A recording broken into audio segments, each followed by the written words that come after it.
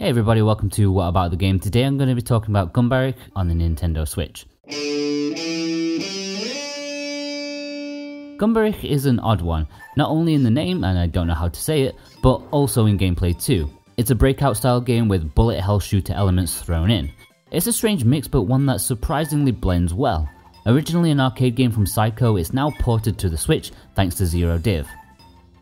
In Gunbarrick, there's a choice of two characters, a boy or a girl, and each supposedly have their own special stats for and against, but having been through the game at least twice with each of them, I didn't notice any difference whatsoever. Anyways, they're going on some sort of magical quest journey of discovery which, as you'd expect from an arcade game, is as deep as a puddle, but no matter. There are 7 worlds, each with 3 stages, for the most part. In each of the stages you have to bounce a magical energy ball around and destroy all the breakable blocks in the area. Your character stays at the bottom of the playing field and can only move side to side, anticipating where the energy ball will bounce back to. While you can just let the ball bounce right off you, like most games of the genre, Gunbarrick actually has pinball flippers attached that lets you fire off the ball with a bit more power and direction. I generally have a bit of a problem with the breakout genre for being too slow and boring to end rounds, but that isn't the case here, in fact there's a 100 second time limit for each one, or you'll lose a life. It's more fast paced and the narrow playing field means it's more easy to get your targets.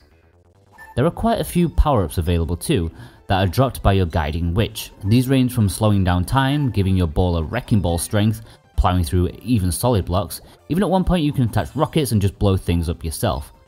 I'm sure that by 2001 when Gunbarrick was originally released, these had all been done before, but it's awesome that they're here and work so well.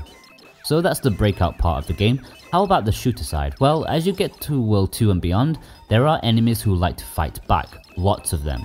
These foes will shoot out large electrical balls toward you. While they don't damage you if they hit you, in fact they can be repelled and used as a weapon, highly useful, but landing on the ground beside you can be devastating. Hitting the ground sets off a large electrical explosion which, if touched by your character, paralyzes you for a second or two, requiring you to waggle the control stick to break free of the shock. That means if your magical ball is anywhere near coming back to your end, you might as well say goodnight as there's no chance you'll reach it. The solution of course is to simply repel all the electrical balls coming your way.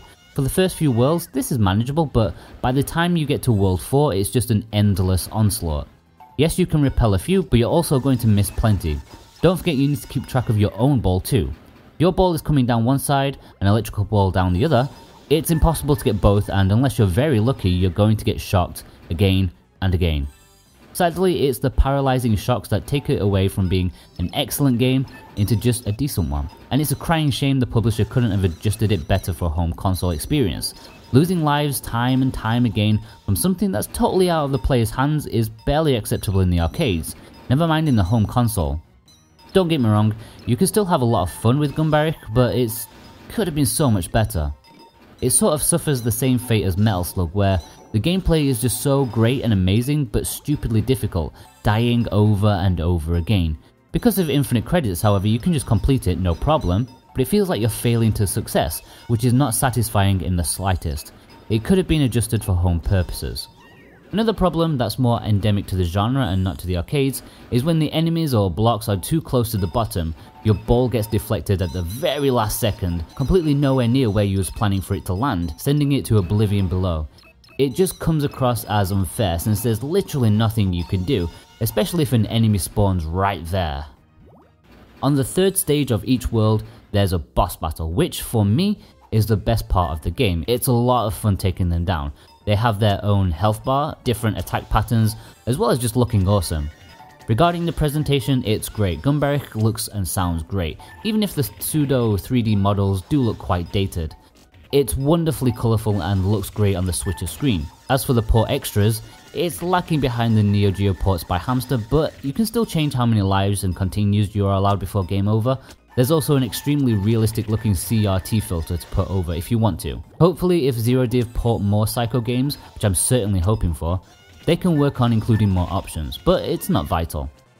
Now of course, like with Strikers 1945, you can play Gunbarrick in glorious Tate mode, having the switch undocked and stood vertically, using the length of the screen to its full potential.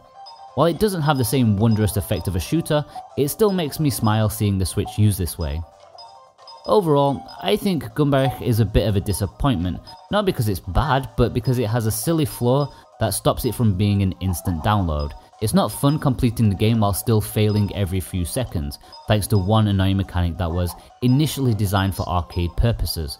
Saying that, it's still easily the best Breakout style game that I've ever played because of its fast pace, power ups, enemies, and boss battles.